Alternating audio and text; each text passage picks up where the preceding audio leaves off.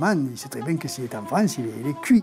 Assez robuste, il est très sportif. C'était un chef, c'était un organisateur, c'était un garçon qui était un meneur. Peu à peu, il s'est enhardi et il a, il a fait des braquages beaucoup plus importants. D'abord, il a déjà une réputation. C'est un garçon qui est un corrupteur massif. Un voyou, il n'est jamais seul. Il n'est jamais seul, un voyou. Dès l'âge de 15 ans, a exprimé un refus total de la société française qui rejetait ses parents. Au début, la prison elle apporte un savoir qui échappe à beaucoup d'honnêtes gens. Avec lui, ça pouvait se passer. Il prend ses deux, ses deux pistolets, son 11-43 de la main droite et son, son 9 mm de la main gauche. Oh, le français, c'est un pays policier, il faut jamais l'oublier, ça. Quand on a mené une vie d'aventurier comme ce garçon et qu'on s'est fait arrêter ô combien de fois et qu'on est parti ô combien de fois, Et l'argent, c'est l'argent. pourquoi tout d'un coup s'arrêterait-on? Donc il sera de nouveau arrêté. Mais il s'évadera encore. Un- c'est le fou complet de la cavale.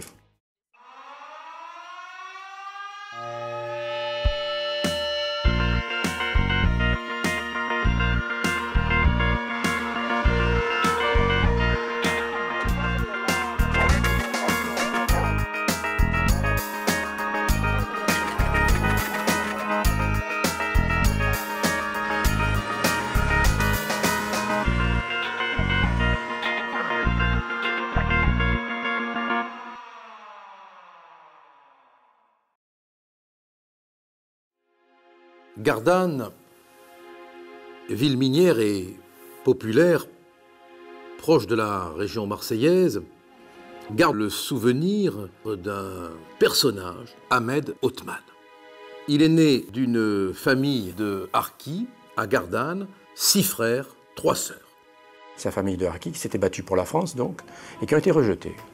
Il n'a jamais compris, ce garçon, qu'il euh, puisse être rejeté, lui et sa famille, alors qu'il n'avait jamais rien fait de mal, en fait. hein. Ces années qui vont de 1961 à 1970 sont pour les familles de harkis particulièrement douloureuses. Il y avait une population euh, effectivement euh, de harkis notamment euh, qui travaillait dans les forêts aux alentours de Gardanne. La vie des harkis a été une déchirure. Considérés comme des traîtres par les Algériens, ils n'étaient pas forcément considérés comme des Français par les Français. Comme on ne leur donnait pas la possibilité d'exercer d'activités autres que forestiers, il est évident que la deuxième génération, à ce moment-là, a, a- a voulu s'émanciper et certains ont choisi des méthodes euh, euh, qui sont celles qu'a choisi Ahmed Othman, en l'occurrence. Euh, C'est-à-dire, on va chercher l'argent où il est. enracinés dans l'humiliation, dans le racisme et dans le sentiment de n'appartenir à aucune des deux rives de la Méditerranée. Ce rejet permanent de la société a inspiré une haine féroce à ce garçon, qui est devenu une bête sauvage. Dès l'âge de 15 ans, a exprimé un refus total de la société française qui rejetait ses parents et qui euh, ne faisait pas d'eux des Français à part entière.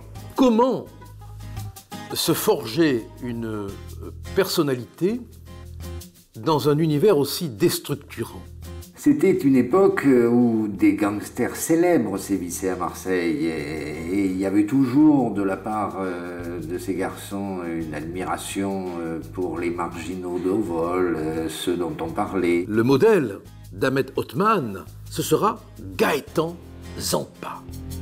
La fascination qu'exerçait Zampa sur Othman s'est s'est muée, si vous voulez, en, en un désir de, le copier, de l'imiter dans sa vie. Et c'est ce qu'il a toujours essayé de faire, d'imiter euh, Gaëtan Zampa, qui a toujours été sympa avec lui. Il l'a toujours considéré comme un des siens. Hum, c'est ce qu'il se dit, mais il se dit beaucoup de choses. Parce que j'ai été amené, on a été amené par ma famille à côtoyer un peu de man, ses cousins, tout ça. Zampa, déjà, c'était déjà fini, Zampa. Hein, voilà, hein, quelque part, donc.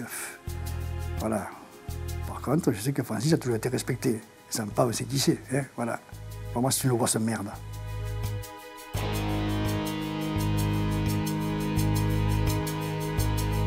D'emblée, Ahmed Othman a choisi la voie de la délinquance et la voie de la criminalité. Il s'est mis en marche de la société. Ahmed Othman va commettre euh, un petit braquage en 1982 Tout petit euh, délinquant qu'il était au départ, eh bien, ma foi, il a fait la preuve d'un certain culot et d'un certain courage, il faut le dire aussi.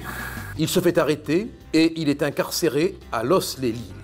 Avant son incarcération, il a quand même réussi à tisser dans les quartiers nord un réseau qui commence à compter. Il a commencé à fréquenter des bars de voyous à Marseille, notamment au boulevard de Paris, à fréquenter d'autres voyous du côté de Gardanne, parce qu'il est issu de, de, la ville de Gardanne. C'est à partir de ce moment-là qu'il entre dans l'univers de la délinquance. Il a commencé, si vous voulez, comme tous les voyous, par des actes de brigandage, de vol, de petits braquages, puis euh, peu à peu, il s'est enhardi et il a, il a, fait des braquages beaucoup plus importants. Tu vas à l'école, tu grandis, tu grandis, tu grandis, puis un jour, tu prouves que tu es quelqu'un de capable, d'intelligent, voilà, et surtout, de, de, à la limite, de, de, du charisme. L'homme qu'on arrête en 1982 n'est pas encore connu. Devant lui, il y a à parcourir un chemin escarpé de 11 années qui, de l'anonyme Ahmed, feront de lui l'ennemi public numéro 1.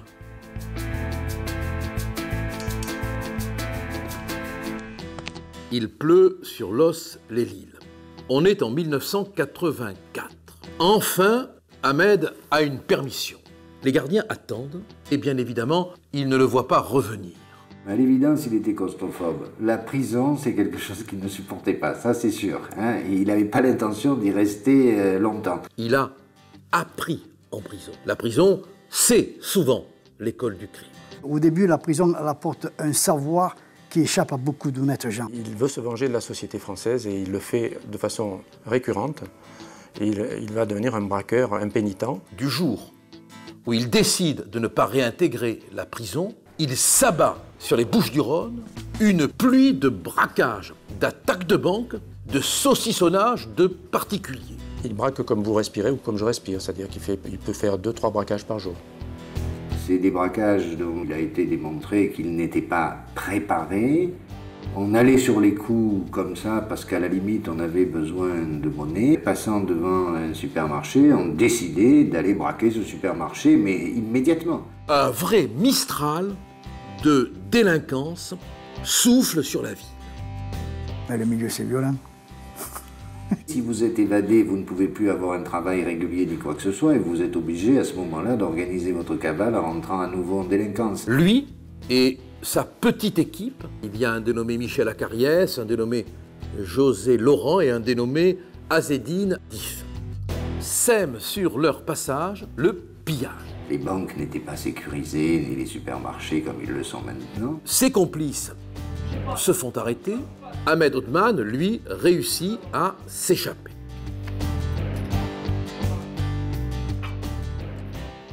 Devant la cour d'assises d'Aix-en-Provence s'ouvre le procès des complices qui ont été arrêtés. C'est un petit procès de la criminalité euh, ordinaire. Il n'y avait pas une violence particulière, c'était pas des affaires de braquage qui sortaient de l'ordinaire, hein. Euh, c'était des petites affaires comme il y en avait plein et j'en conserve pas un souvenir impérissable. Mais il prend un relief particulier en raison même de l'absence d'Ahmed Othman. La police, la justice s'imaginent que Othman va, par un moyen ou par un autre, par la ruse, par la violence, tenter d'organiser l'évasion de ses camarades qui comparaissent devant la cour d'assises d'Aix-en-Provence. Le palais de justice est encerclé par les forces de police. Qu'est-ce qui va se passer? Rien. La police, la justice, par ses inquiétudes, par sa paranoïa, va étoffer de l'étoffe des héros sombres la personnalité d'Ahmed Othman.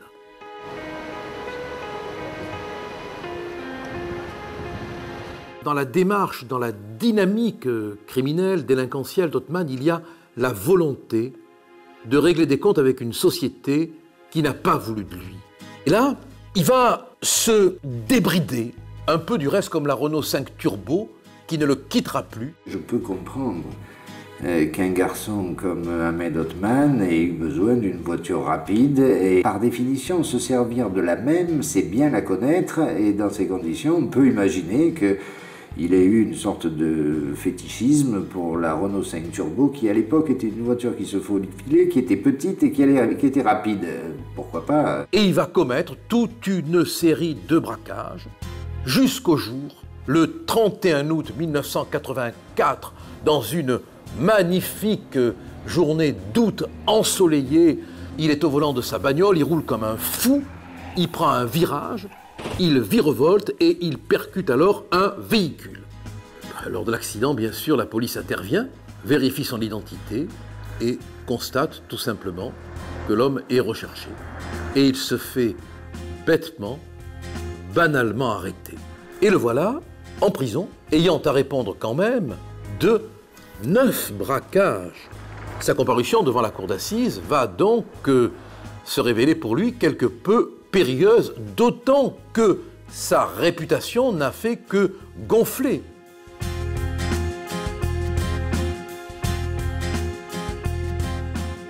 Ça fait maintenant six mois qu'Ahmed Othman est incarcéré à la maison d'arrêt des Baumettes, la fameuse prison. Et derrière les murs de la prison, il en a marre, il s'ennuie, il veut s'enfuir. L'idée d'être incarcéré, il la vit comme un échec. Il ne supporte pas l'enfermement, il ne supporte pas la moindre contrainte. Euh, la personnalité d'Othman euh, était peut-être telle que les policiers euh, sentaient qu'ils avaient affaire à quelqu'un qu'il serait difficile de garder. Ensuite, parce que il aime la liberté volée, celle qu'on lui donne pas. Donc il a décidé, là de ces six mois d'incarcération, de tenter le coup et de s'évader. Il y a toujours un moment, hein, sauf tu passes l'escalier, mais dans le bureau du juge, tu n'importe quoi, tu te retrouves dans la rue, il y a plein d'autres trucs, tu as gambergé tout ça, tu le sais. Il sait qu'il va aller au palais de justice. À l'époque, le palais de justice était euh, fait de telle manière que les geôles où on amenait les détenus, en l'occurrence des baumettes, étaient mis sous le palais. Elles étaient sous le palais et il fallait traverser une rue pour aller euh, dans un immeuble qui se trouvait en face où se trouvaient les cabinets d'instruction. Il est maintenant dans la rue, la rue Émile Pollack. Invoquant le fait que les masse-notes, comme disent les gendarmes, ou les menottes, comme disent les policiers, étaient euh, trop serré. Les menottes lancèrent. Gentiment, il demande à un policier qui l'escorte de bien vouloir, puis lui montre, hein, desserrer légèrement les menottes. Ayant contracté ses muscles, il était très impressionnant. Hein. Le policier prend la clé, l'insère dans le trou, ouvre la menotte pour la desserrer légèrement. En arrêtant sa contraction, les menottes étaient devenues trop grandes. C'est finalement dans l'instant du déclic qui sert au petit desserrement des menottes que Ahmed Othman s'engouffre. Ahmed Othman a vu la lumière et à ce moment-là, il a purement et simplement enlevé les menottes. Et sous le nez de son avocat, chez le juge quand on nous a dit eh bien, votre client vient de s'évader. Sous les matraques de ses gardiens, en pleine rue, à quelques mètres du palais de justice, au nez et à la barbe des robes, des épitoges, des képis. Le juge est resté malheureusement gros gens comme devant, puisqu'on devait lui amener quelqu'un pour évasion, on lui a pas fait puisqu'il venait de s'évader.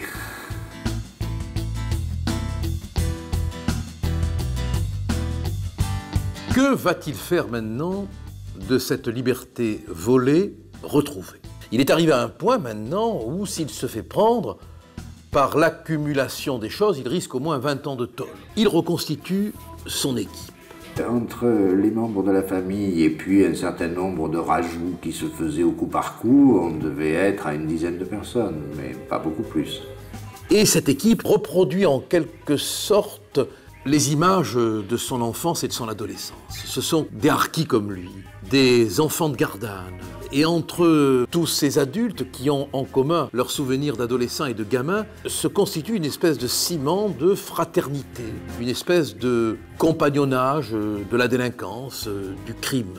Il émanait d'Othman quand même une espèce de force euh, dont on peut penser qu'il a eu un ascendant euh, sur ses collaborateurs, entre guillemets. Euh, c'est vrai que c'est quelqu'un sur les pieds duquel on ne marchait pas. À l'appel de cette armée des délinquants de Gardanne, il y a Biraba Megoufel, Hadj, qui est le jumeau d'Ahmed. C'est important sur le plan psychologique, quand on a un frère jumeau, il y en a un des deux qui est peut-être un peu plus intrépide. C'est le cas manifestement de, de, Ahmed. Et qui lui ressemble vraiment de manière à ne pas savoir qui est l'un, qui est l'autre. À l'époque, manifestement, euh, il y avait essentiellement euh, les deux frères Othman, et des cousins proches. Et ils vont constituer une bande qui va hisser Ahmed au rang de caïd.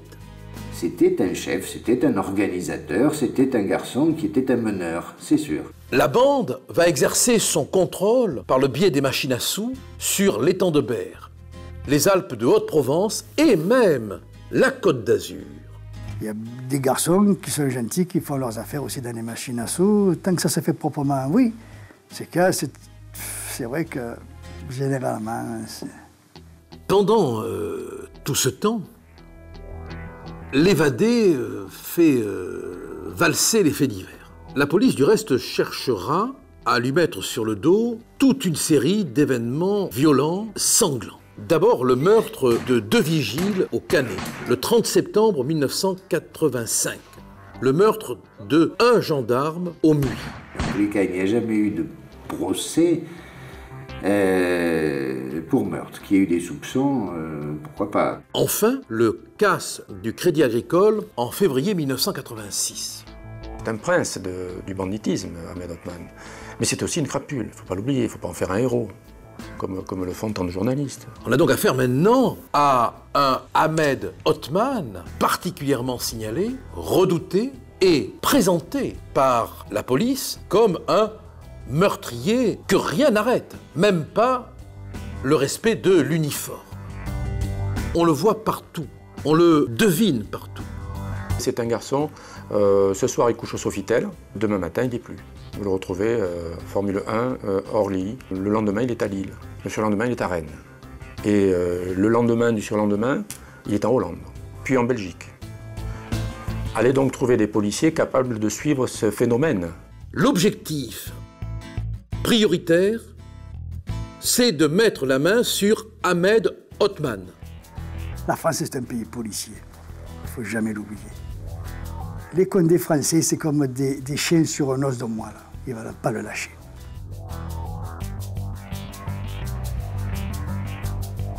On est en juillet 1986. Ahmed Odman est à Gardanne et il dort. Pendant son sommeil, au-dessus de lui, autour de lui, la police se met en place. Dans le ciel, des hélicoptères tournoient. Dans les rues, le GIGN a pris place, barre les issues. La ville est envahie par les policiers. Ahmed Othman dort. Puis, soudain, il est tiraillé par une insomnie. Il sort de chez lui, s'en va se promener dans la rue et il assiste, comme à un lever de rideau, à l'effervescence policière, au déploiement de véhicules, et il devient en quelque sorte le spectateur de sa propre arrestation qui n'aura pas lieu il avait surtout cette inconscience qui faisait qu'il pouvait agir sans imaginer un seul instant, et eh bien que ma foi, un mauvais coup pourrait lui arriver. Le spectateur ravi, satisfait de l'échec des policiers qui cherchent celui qui les a trouvés. Le 29 mars 1987, une R5 Turbo rutilante, se gare sans aucune gêne devant le local affecté à la police municipale de Bandol. Trois hommes descendent du véhicule, Ahmed Othman, son frère jumeau Hadj et leur cousin Biraba. Le premier policier municipal qui sort dégaine son carnet à souche pour dresser un procès verbal. Et puis, il regarde à l'intérieur du véhicule et il voit un holster. Il appelle des collègues qui arrivent et qui tournent autour du véhicule et il constate que la clé est sur le contact du véhicule. Les policiers retirent les clés du contact, ferment le véhicule et vont vérifier la plaque d'immatriculation. C'est un véhicule volé. Immédiatement, ils appellent la police nationale en renfort. Tout est calme dans le local de la police municipale de Bandol. Soudain, un individu armé, flanqué de deux compères, pénètre à l'intérieur et hurle Rendez-moi les clés Tout en braquant tout le monde. Il n'a pas de mal à récupérer les clés de sa voiture. Les policiers municipaux sont abasourdis. Et c'est vrai que la facilité avec laquelle il a toujours agi et la relative impunité qui a été la sienne a pu lui faire penser, et il n'a pas eu tort d'ailleurs, puisque finalement euh, ça marchait, hein, euh, que rentrer dans un commissariat de police euh, pour aller récupérer les clés de voiture, voire un complice, c'était quelque chose qu'on pouvait faire en toute impunité. L'homme, Ahmed Othman, ses complices sortent maintenant du commissariat, clé en main, pour reprendre leur voiture. Ils ignorent qu'en même temps, deux policiers de la police nationale viennent d'arriver. Au moment où Ahmed et ses complices sortent, les policiers arrivent, voient l'arme, dégainent et tirent. Il prend ses deux, pistolets, son 11-43 de la main droite et son, son 9 mm de la main gauche, et il va braquer qui? Le commissariat de Bandol. Il s'en rappelle encore. Et il fait feu. Il est fou. Dans l'échange de coups de feu, Ahmed Othman reçoit une balle en pleine poitrine. Mais il a le temps avec son frère de rejoindre la voiture, de s'installer à l'intérieur et de partir. Il ne peut pas, malgré les risques qu'il encourt, éviter l'hôpital. Son frère le dépose alors à l'hôpital d'Aubagne. C'est là que, sans aucune difficulté, les policiers vont le retrouver, l'arrêter et l'incarcérer. L'homme que le SRPJ de Marseille vient d'interpeller a contre lui trois mandats d'arrêt. Et il va répondre d'incriminations lourdes, aux conséquences pénales terribles. Son hospitalisation terminée, il retrouve la cellule de la maison d'arrêt des Baumettes.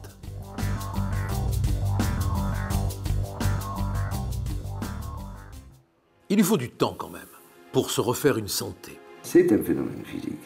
Othman, c'était un phénomène physique.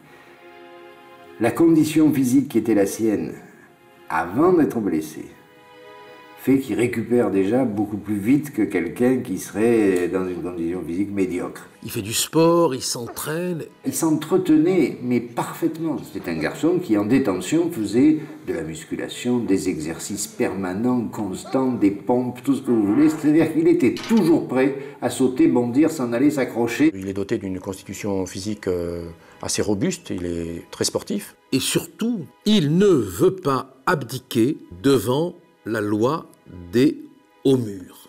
Il n'est pas dit qu'on pourra enfermer sa volonté de liberté. Dans sa cellule, Ahmed Othman a retrouvé une de ses vieilles connaissances, un dénommé Berou Batani. Ce n'était pas forcément un membre de sa bande qui était poursuivi en même temps que lui, mais c'était à l'évidence quelqu'un qu'il connaissait, et vous savez, en prison, quelquefois, on est très gentil et si vous dites j'aimerais bien être dans la cellule d'un tel et si les magistrats n'ont pas recommandé de les séparer, il n'y a aucune espèce de raison qu'on ne vous mette pas en cellule avec quelqu'un que vous connaissez ou qui est un pays à vous et que vous retrouvez. Ça, ça arrive souvent. À eux deux, ils vont construire un plan d'évasion. Ils ont réussi à fabriquer, à l'aide des draps et des housses de matelas, une corde de 13 mètres de long. Othman avait construit euh, jour après jour avec des, bouts de matelas sans montrer qu'il avait défoncé son matelas. Comme ça ne suffisait pas, il, a pris, il a échangé avec le matelas, de la cellule voisine. Ceci sous l'œil euh, aiguisé des surveillants, bien entendu. Ahmed a réussi à se procurer une scie, l'instrument élémentaire de l'apprenti évadé ils ont décidé que ce serait ce 2 décembre 1987. Il faut attendre le moment sombre de l'extinction des feux.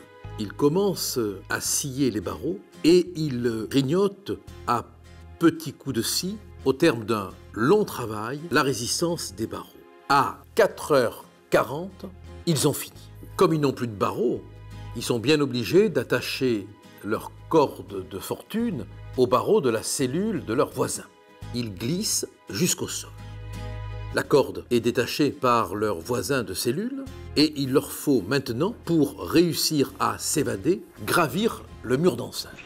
Il avait fait jour après jour un travail minutieux, fil à fil, fil à fil, pour construire une corde assez longue, susceptible de lui, assurer une évasion par le mur d'enceinte de la prison. C'est là qu'ils sont surpris par un surveillant et que, soudain, la sirène est déclenchée. C'est un échec.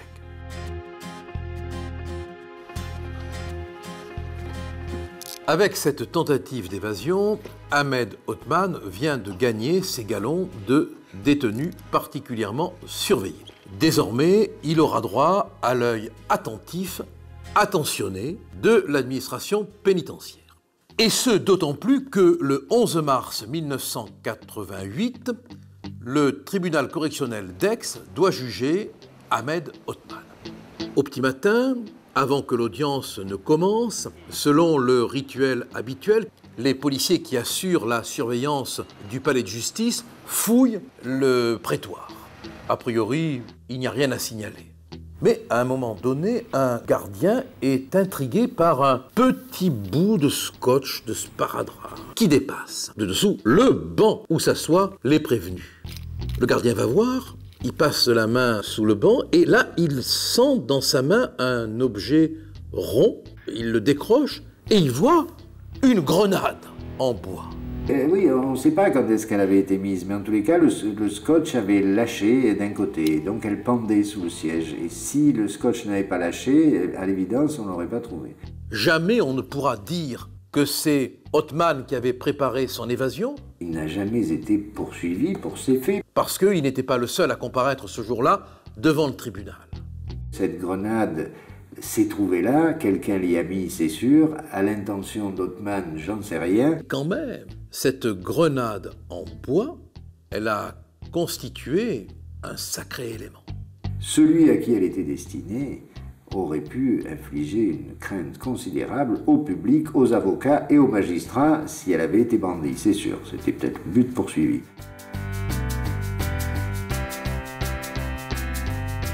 Ahmed Othman est toujours en prison. Les juges qui l'attendent devant la cour d'assises d'Aix-en-Provence ont des questions pénibles à lui poser. Trois meurtres, neuf braquages, deux évasions. C'est un questionnement qui peut se terminer par une addition pénitentiaire lourde. Alors, il pratique depuis 16 mois régulièrement du sport. Ahmed Othman est prêt, bien qu'il soit enfermé dans une cellule du quartier d'isolement, où l'on ne fréquente pas les autres détenus, où l'on est hyper surveillé, et cependant il va réussir de nouveau à s'évader. Donc c'est un garçon qui est à la fois intelligent, intrépide, et qui n'a peur de rien. il a repéré un détail dont il va exploiter toutes les possibilités. À l'époque, le quartier de haute sécurité des Baumettes était au rez-de-chaussée. Sa cellule donne sur un angle mort, donc il peut sortir de sa cellule sans être vu par le surveillant qui monte la garde dans le Mirador. Une évasion, c'est jamais facile, il faut bien la gamberger, et les Baumettes comme ailleurs, ouais, sûrement, non, les Baumettes, ça ne fait pas partie des prisons faciles, ne crois pas ça, hein, Hein, mais sûrement qu'il y a la faille.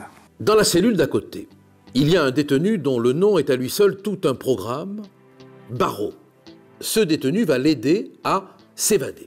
Le 16 juillet 1989, alors que la prison dort, des hommes qui avancent sans faire de bruit devant la maison d'arrêt des Baumettes. Ils attendent. Ils sont cachés. Il est 2 heures du matin, rien à signaler. Tout est calme. Au bout de 4 heures d'efforts minutieux, prudents, Ahmed Othman a réussi à scier les barreaux de sa cellule.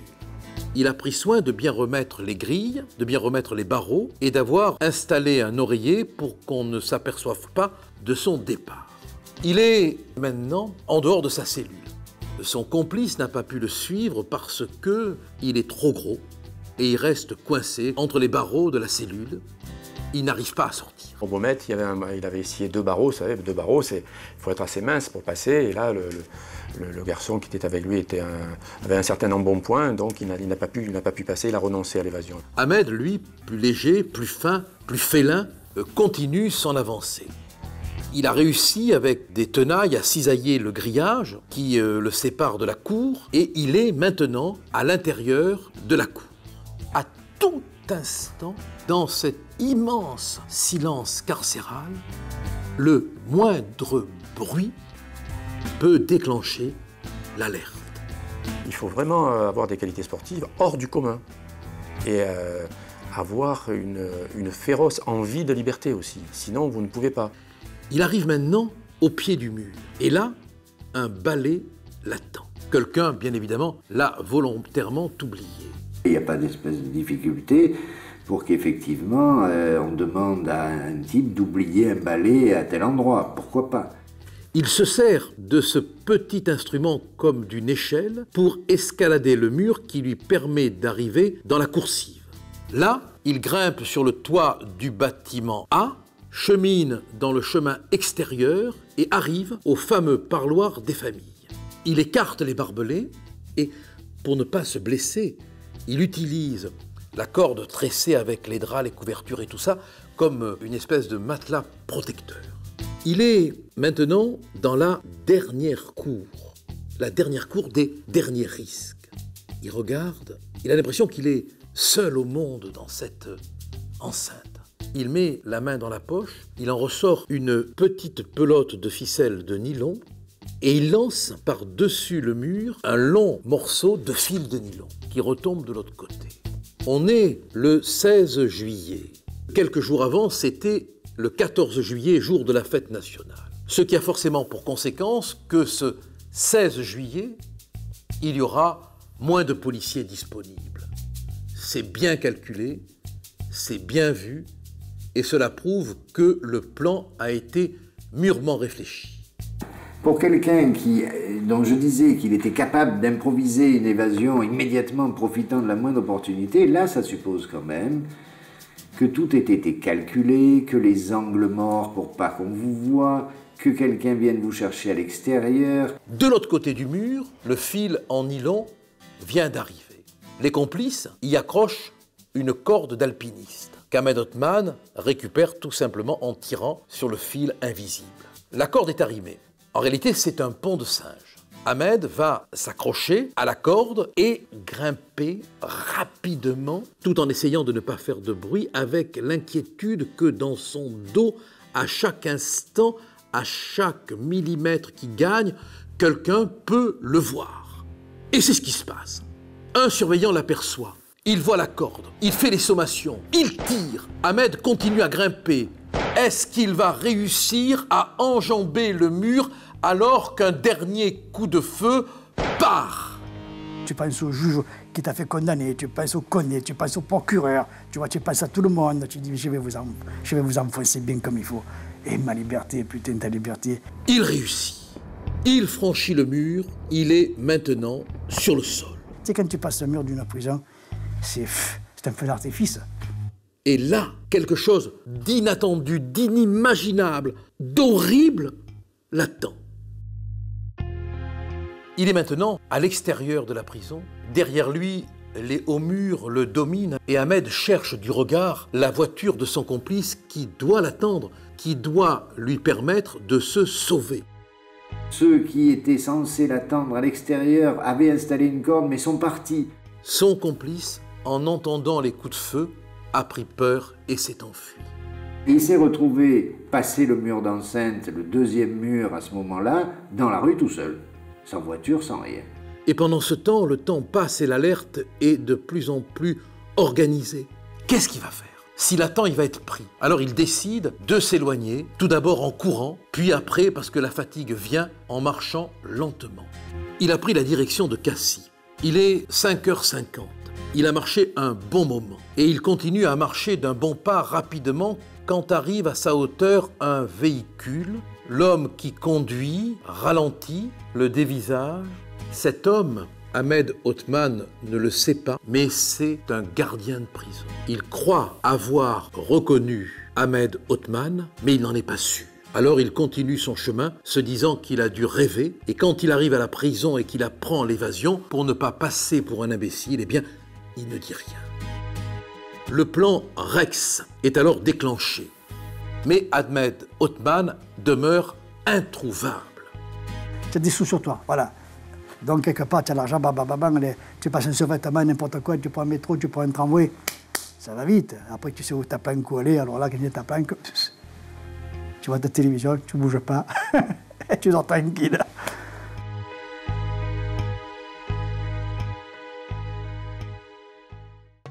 Comment Ahmed Othman était-il au courant de l'existence d'un angle mort? Comment a-t-il pu trouver un balai dans la cour? Comment s'est-il procuré une scie, des pinces? Quand il s'évade, il, lui faut des complices à l'extérieur, il lui faut euh, des surveillants qui ne surveillent plus, parce que c'est clair. Il lui faut des gens dans les miradors qui dorment, au lieu de tirer. Et il lui faut des gens de la direction qui lui fournissent des plans détaillés. C'est extraordinaire. À toutes ces questions, personne ne pourra répondre. Ça demande des complicités dont vous n'avez aucune idée. On a dû chercher, j'imagine, mais euh, je n'ai pas le souvenir qu'il y ait eu la moindre mise en examen d'un quelconque surveillant euh, dans cette affaire. Il corrompt massivement tous les gens qui passent autour de lui, avec de l'argent liquide. Il est très fort pour ça, pour connaître les failles humaines et s'en servir. Dans toutes les prisons, on peut payer. Et aujourd'hui, plus que jamais. Aujourd'hui, les gens, ils sont tous à l'agonie. L'argent, c'est important. Les gens, ils n'arrivent pas à tirer à genoux les debout. Et l'argent, c'est l'argent. Voilà. Donc aujourd'hui, soit en France, à l'Espagne, ailleurs, n'importe où, si tu allonges les paquets, tu trouves au preneur. Il n'empêche que cette évasion, elle est spectaculaire. Le problème, c'est que l'homme qui court les rues, d'après la police et d'après la justice, serait un assassin. Le 25 juillet 1989, donc neuf jours après son évasion, les policiers localisent Ahmed Odman à Fréjus. Il est en cavale. Bon, il se met dans un studio à Fréjus et il va apprendre à faire de la planche à voile. Il est à un endroit où il y a du monde, au même titre que vous le croisiez en ville, au même titre que bah, il va pas se planquer dans un endroit isolé où il va attirer l'attention. Moi, je trouve que c'est pas euh, complètement idiot que d'aller se mélanger euh, sur une plage où il y a 10 000 personnes. Euh, ça me paraît plus astucieux que d'aller s'enfermer dans un cabanon perdu dans la colline où les gens vont être intrigués de voir quelqu'un qui n'était pas là auparavant. Moi, quand je m'évade, je préfère prendre les frontières, hein, parce que de l'autre côté, ça bat le coup des Français. Hein. On a beau dire Interpol, c'est là. Quand a des pays étrangers, ils ont leurs propres problèmes, je vais te dire, les Français, ça passe après. Hein. Quelqu'un, bizarrement, un copain à moi d'ailleurs, qui était de la brigade de répression du banditisme, le repère. Et ce, garçon dans la, brigade de répression du banditisme, il n'y avait pas de portable à l'époque, se précipite vers la première cabine téléphonique en disant J'ai vu, j'ai vu Hotman.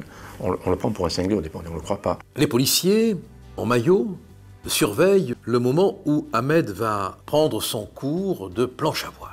Les policiers n'ont pas de mal à le suivre et à enserrer, l'air de rien, le touriste qui n'a pour seule arme que sa serviette de bain. Le patron du SRPJ dit Vous me l'arrêtez dans l'eau. Dans l'eau.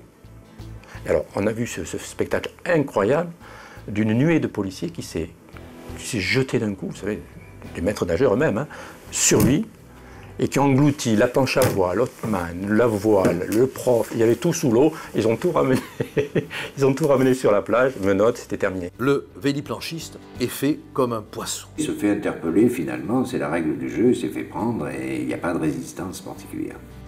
Comme un clin d'œil, pas très loin de chez lui, les policiers voient immobile, une R5 turbo.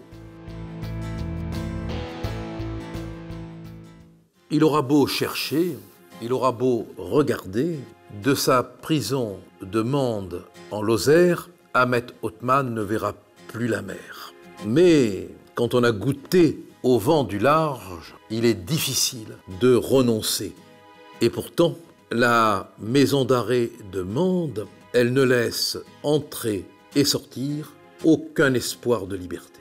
Moi qui ai bien connu Mende, euh, je vous assure que la prison, c'était plutôt dans le style Fort Vauban. Hein. C'était quelque chose de, monumental. Et euh, avec des murs d'une épaisseur comme on les construisait au XVIIe. Enfin, c'était effrayant. En théorie, Hartmann n'aurait jamais dû s'évader de cette prison-là.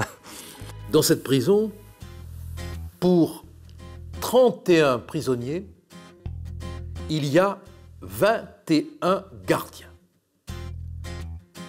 La maison d'arrêt de Mende s'enorgueillit de n'avoir jamais subi l'affront d'une seule évasion réussie.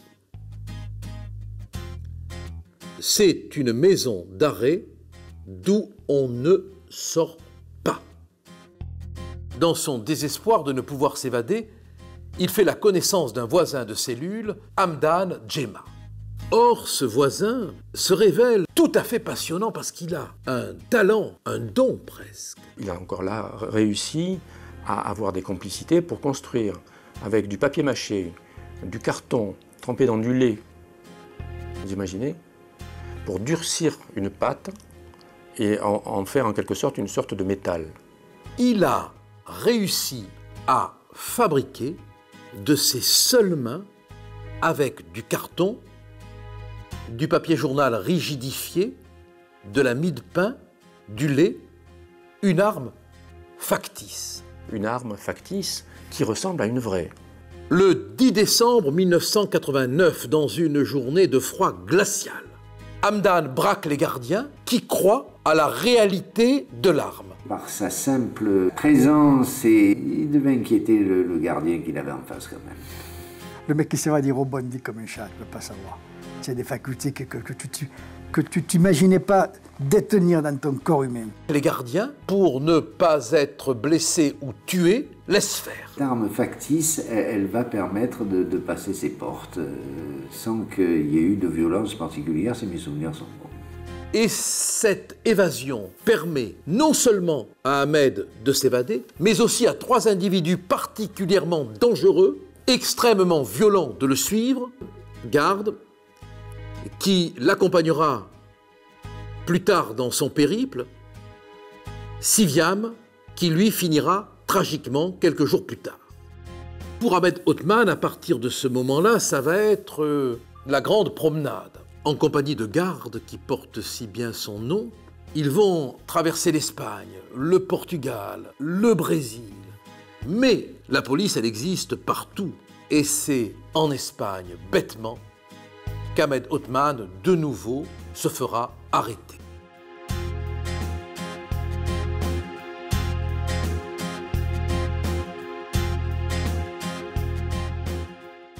Ahmed Othman euh, peut se vanter de s'être évadé, mais quand même, euh, il se fait vite reprendre. Alors il est maintenant incarcéré à la prison de Carabanchel, dans la banlieue de Madrid.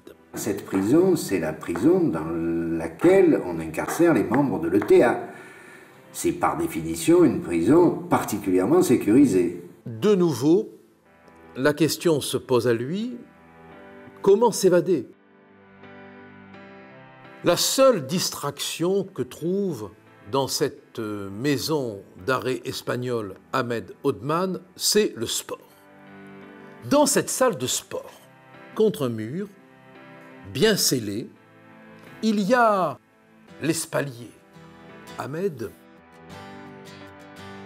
qui a une colonne vertébrale en très bon état, avait à sa disposition, offert par l'administration pénitentiaire espagnole, la plus belle échelle de toutes les incarcérations. L'air de rien, élongation après élongation, Ahmed dévisse l'espalier.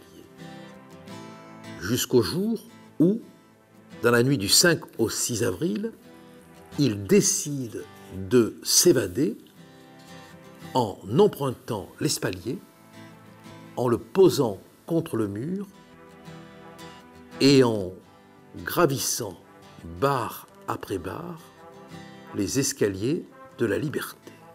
Et de nouveau, Ahmed Othman s'est évadé.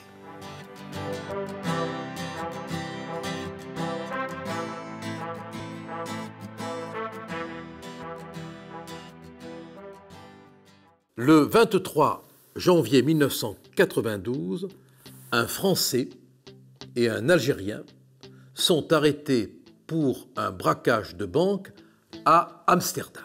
L'Algérien est identifié comme un nommé Hakim Marwani. Les renseignements qu'on peut recueillir sur lui n'apportent pas grand-chose. Un petit braqueur sans grand intérêt.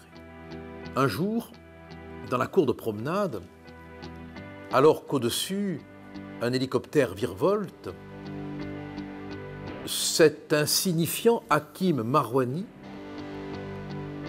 met la main dans la poche de son pantalon et sort une arme. À l'instant où l'hélicoptère est au-dessus de la maison d'arrêt, Marwani braque les gardiens et sans aucune difficulté réussit à s'enfuir en hélicoptère. Il faut dire que personne n'avait de raison de penser que l'auteur d'un petit braquage, qui ne risquait pas une très grosse peine, aurait envie de s'évader. Il a pu rencontrer des gens qui ont permis ce genre d'évasion, mais j'ai pas le sentiment que les petits braquages qui avaient été commis à Gardanne permettaient de faire face aux frais considérables que ce genre d'opération engendre. Othman était capable de tout, même de l'achat d'un hélicoptère, d'un pilote, euh, euh, d'un plan de vol. C'est pas que c'est cher un hélicoptère. Une évasion en hélico, c'est pas. Tu payes pas des gens qui. Non, non, ça c'est des amis, ça. Ça c'est des gens, il y a une équipe dehors, c'est des amis, ils vont braquer la machine là-bas, l'héliport. Qui est cet Hakim Marwani? Des individus ont été arrêtés à proximité du palais de justice de Horn, précisément le jour où Hakim Marwani devait comparaître devant le tribunal. Un Aixois, un Marseillais, un Parisien et un Algérien. Et on se rend compte que tous ont un lien avec un dénommé Othman. Est-ce que les deux hommes n'en font qu'un? Est-ce que Marwani, c'est Othman Cette question, un policier hollandais, dans son bureau, se la pose aussi. On transmettait à ce moment-là à Interpol en demandant s'ils avaient les moyens de vérifier euh, quel était le personnage qui était véritablement euh, en détention. Bah, il suffit de comparer les empreintes et de constater que l'homme qui vient de s'évader en hélicoptère, eh ben, c'est bien Ahmed Othman.